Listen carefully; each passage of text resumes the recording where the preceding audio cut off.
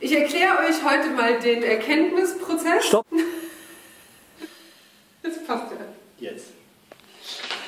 Ich erkläre euch heute mal den Erkenntnisprozess, weil ähm, der Bischop und ich, wir haben uns mal ausgedacht, dass das genauso funktionieren muss.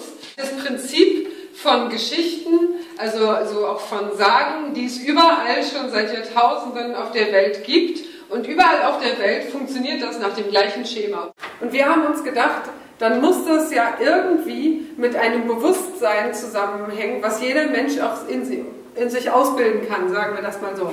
Und zwar ist es nämlich so, in der Heldenreise, in der Urheldenreise, geht der Held, wie wir das kennen, sozusagen auch der Prinz im Märchen, der folgt einem Ruf des Abenteuers.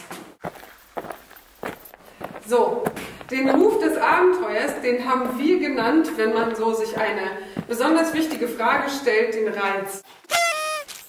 Dass man überhaupt anfängt, über etwas Bestimmtes nachzudenken, klar? So, wenn das dann stattgefunden hat, dann meistens weigert sich der Prinz erstmal auf die Reise zu gehen. Es findet also erstmal eine Weigerung statt.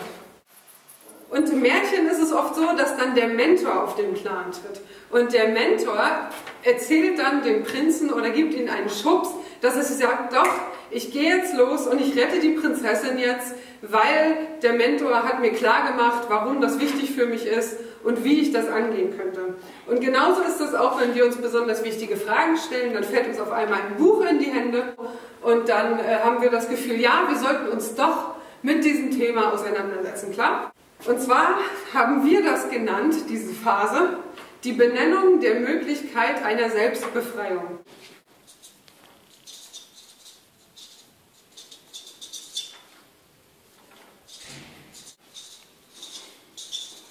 Was dann passiert ist, dass im äh, Märchen oder in der Sage der Prinz sich erst einmal überwinden muss, um in eine unbekannte Welt zu gehen. Denn hier befindet er sich, während das alles passiert, in seiner bekannten Welt. Kann man das nicht sagen, Sicherheit und Unsicherheit?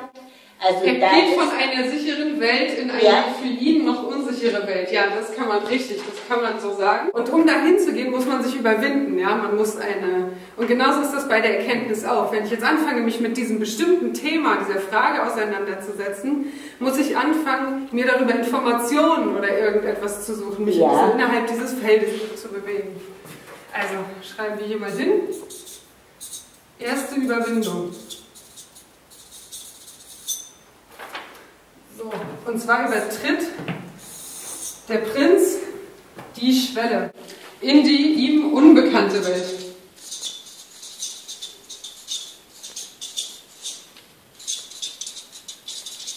Unsicher.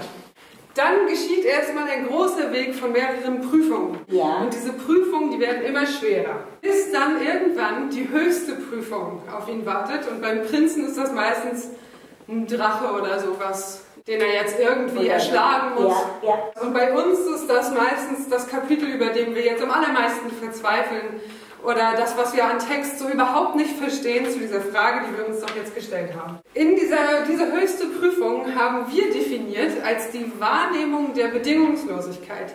Ich muss mich also diesem Text oder der Sache, der ich mich widme, bedingungslos für einen Moment zumindest verschreiben um sie voll und ganz verstehen zu können. Und dann, wenn wir das getan haben und das erfolgreich getan haben, dann ist das beim Prinzen so, dass der mit dem Elixier nach Hause kommt, beziehungsweise mit der Prinzessin oder irgendwas, was jetzt dafür sorgt, dass seine sichere, bekannte Welt noch toller wird und alles ist ganz wunderbar und am Ende gibt es ein Happy End.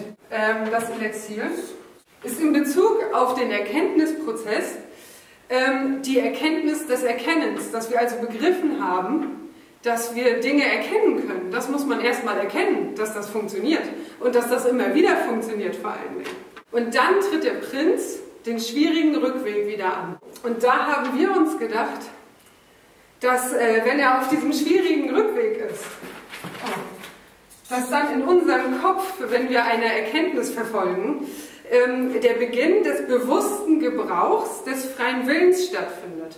Dass wir also anfangen, uns unseren freien Willen, den wir jetzt kennengelernt haben in unserem ganzen Abenteuer, das in unserem Kopf stattgefunden hat, ähm, dass wir den ähm, sehr bewusst gebrauchen können eigentlich und zwar immer wieder. Und dieser schwierige Rückweg führt uns dann letztendlich zu einer zweiten Überwindung. In Bezug auf den Erkenntnisprozess ist das sozusagen die zweite Überwindung, die bewusste Identifizierung mit der Ebene der zu benennenden Möglichkeiten. Dass wir also quasi auf einmal begreifen, dass wir selbst uns damit identifizieren müssen, dass wir alles aus allem selbst machen können. Das, was wir uns vorgenommen haben. Die Frage, die wir uns gestellt haben, die können wir beantworten, wenn wir uns voll und ganz mit all dem ganzen Umfeld identifizieren. So, und es geht dann weiter, denn das Märchen ist ja noch nicht, er ist ja noch nicht wieder zu Hause. Denn erstmal findet noch die Erneuerung statt, denn der Prinz hat ja in seinem äh, Kampf hier unten in der unsicheren Welt auch Blessuren von sich, also mit sich getragen. Er hat auch Wunden und lauter solche Sachen äh, bekommen und deswegen muss er jetzt sich erneuern. Und das ist bei uns die Selbstermächtigung. Vielleicht erinnert ihr euch, Selbstermächtigung? Das hatten wir auch schon mal, haben wir schon mal gehört. Nachdem er sich seines Selbst ermächtigt hat, findet die Vervollkommnung statt. Und dann ganz am Ende ist der Prinz der Meister zweier Welten.